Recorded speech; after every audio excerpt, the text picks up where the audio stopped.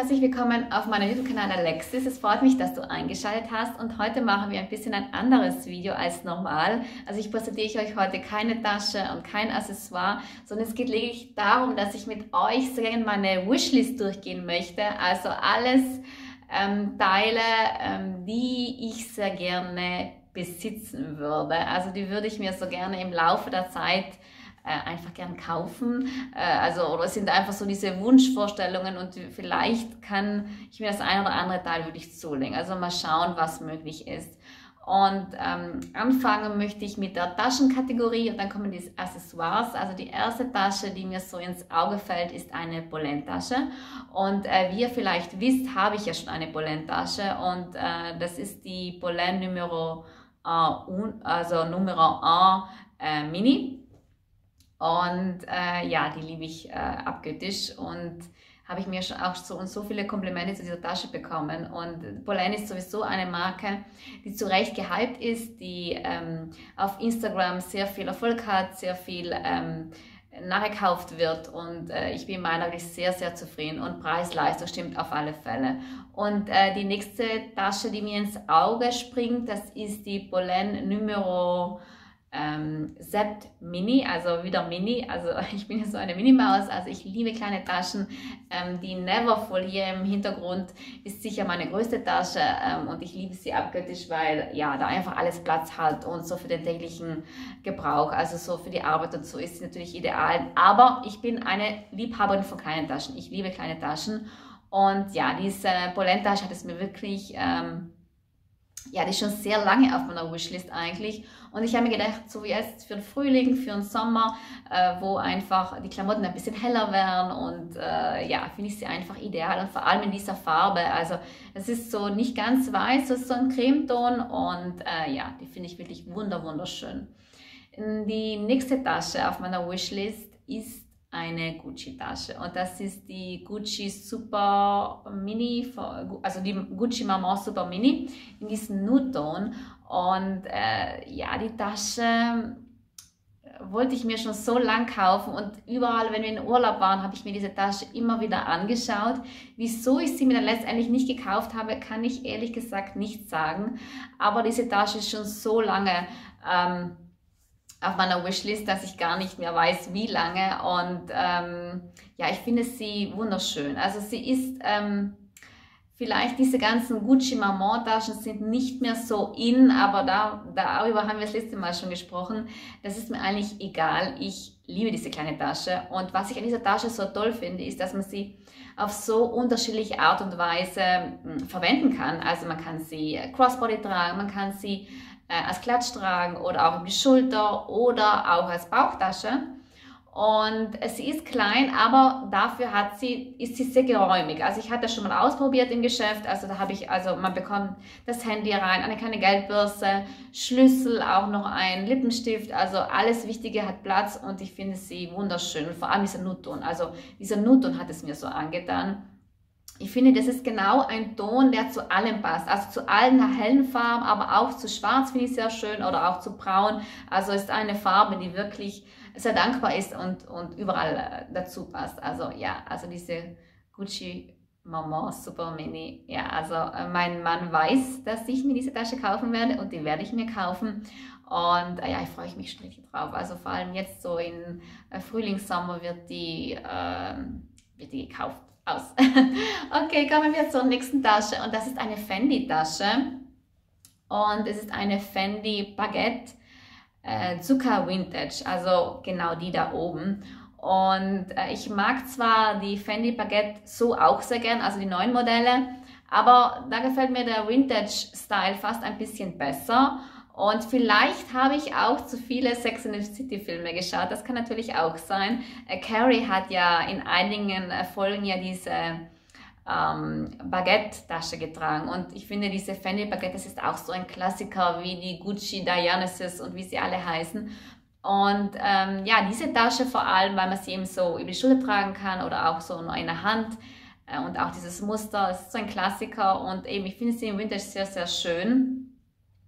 Ich muss aber sagen, ich habe mit, ähm, mit Vintage in Kombination mit ähm, Secondhand übers Internet, da habe ich ein bisschen ein Problem. Das ist schon damals mit der Louis Vuitton Speedy gewesen, wo ich einfach sehr enttäuscht war, als ich sie bekommen habe.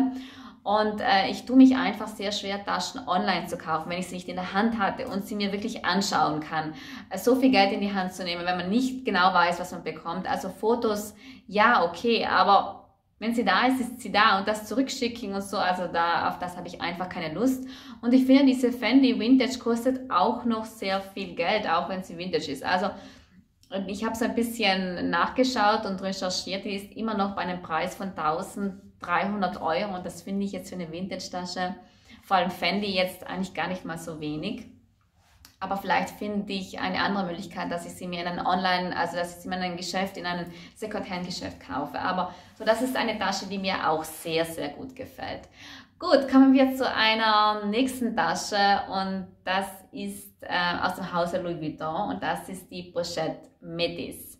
Ja, ich weiß, was jetzt kommt. Äh, meine, mein erstes Video, wenn, ich, wenn, ihr, wenn ihr euch ähm, daran vielleicht noch erinnert, da habe ich gesagt, da war ja diese Geschichte, dass ich damals in Paris war und ich habe sie mir kaufen, ich wollte sie mir eigentlich kaufen und dann gefiel sie mir auf einmal nicht und ich war am Boden zerstört. Ich weiß nicht, was ich damals hatte. Also ich vermute, ich hatte einfach den falschen Tag, denn sie, sie gefällt mir immer noch sehr gut und ich sehe sie überall und sie gefällt mir an jeder Frau einfach sehr, sehr gut und sie ist einfach ein Klassiker. Also ich würde fast sagen, dass sie jetzt in die Kategorie reinkommt, so wie die Neverfull und die Speedy und dann kommt die Pochette Message. Das sind so diese drei Klassiker von Louis Vuitton, die immer ausverkauft ist und die immer nachgekauft wird und so weiter und so fort. Und ähm, ich hätte sie gern, also klassisch in diesem Monogramm und ähm, ich hatte sie äh, irgendwie damals Größenerinnerung, aber so groß ist sie eigentlich gar nicht. Und ähm, ja, also dann finde ich es auch so praktisch, dass man sie in der Hand halten kann und noch über die Schulter. Und ja, es ist, ähm, ja, ich komme um diese Tasche nicht herum und ich finde, sie äh, darf irgendwie in keiner äh, Taschensammlung fehlen. Ja, ich, ähm, ja, also die ist auf alle Fälle auf meiner Wishlist und mal schauen, wenn ich sie mir holen werde. Gut, kommen wir zur nächsten Kategorie Tasche und das ist eine ja, also diese Marke ist natürlich äh, Königsklasse. Also sprechen wir schon von der Königsklasse und das ist äh, Chanel. Ja, Chanel. Also ich bin eine Sammlerin. Also ich, äh, ich sage das zwar immer, also ich, ich liebe Taschen und, und ich liebe Taschen zu kaufen, äh, Taschen zu stylen, Taschen zu besitzen, zu, ja, wie auch immer, zu tragen, auszuführen, wie auch immer. Und ich finde, da darf Chanel nicht fehlen. Also Chanel ist einfach, ähm, ich finde, die Sammlung ist nicht vollständig, wenn keine Chanel-Tasche dabei ist. So, das ist jetzt meine Meinung.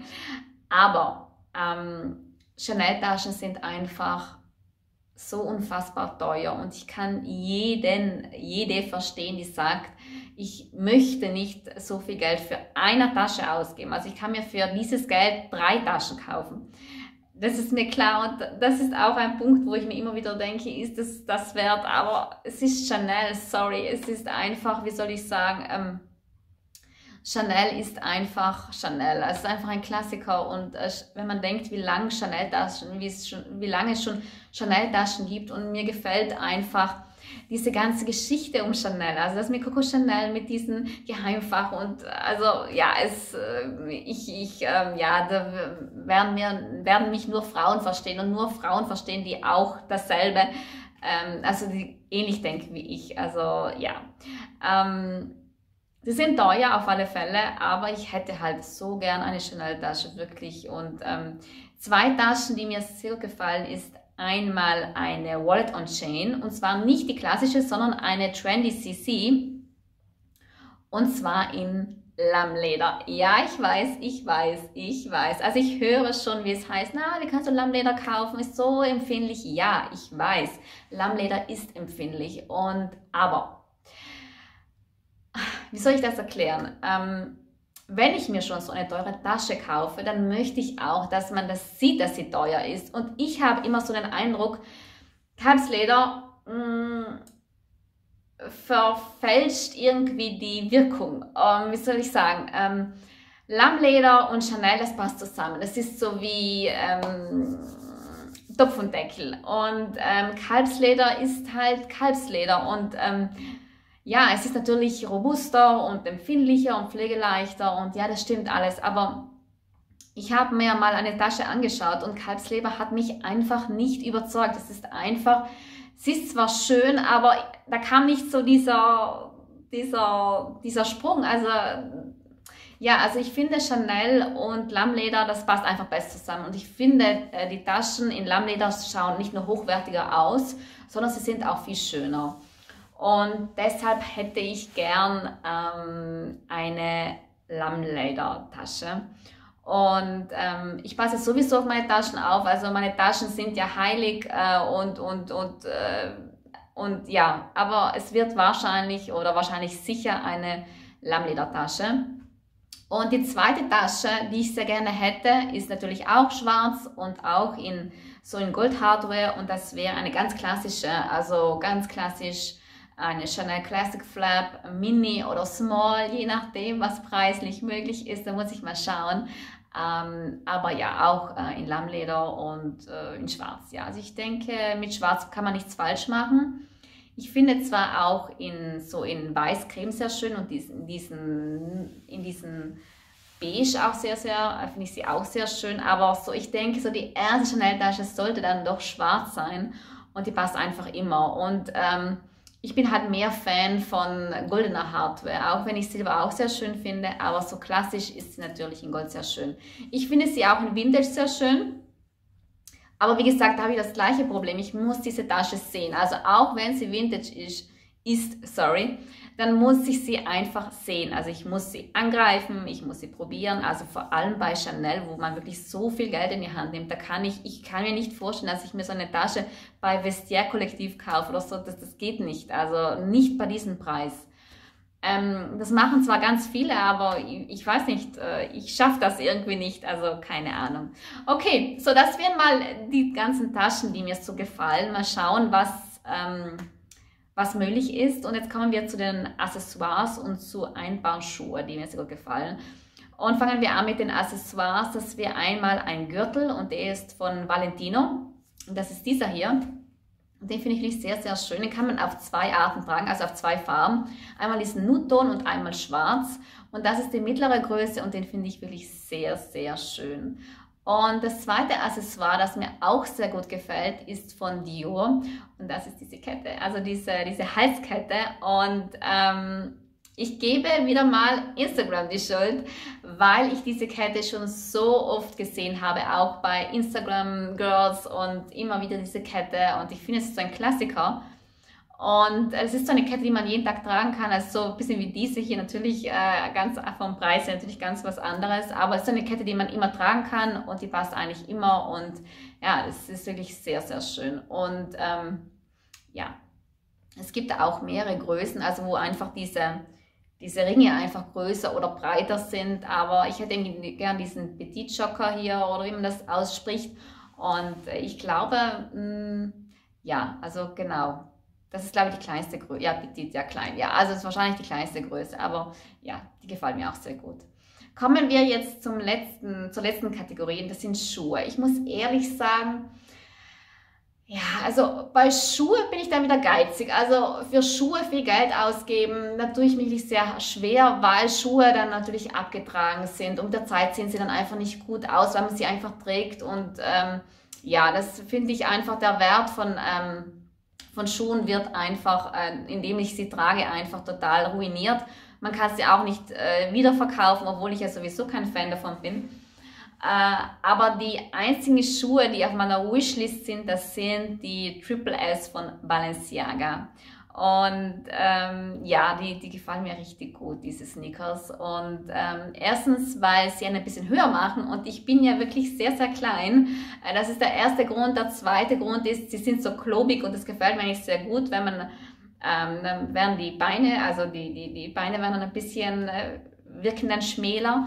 Und ich finde, es ist so ein Schuh, den man zu allem tragen kann. Also sei es zu einem Kleid, aber auch zu Jeans. Ähm, also man kann es so ein bisschen, so ein bisschen lässig, Streetstyle-mäßig klein oder auch ein bisschen, ähm, bisschen eleganter. Und das ist so auch ein Klassiker und äh, ja, ich finde, also ja, diese Schuhe haben es wirklich angetan. Also es sind der einzigen Paar Schuhe, wo ich sage, da würde ich jetzt, die hätte ich sehr, sehr gerne.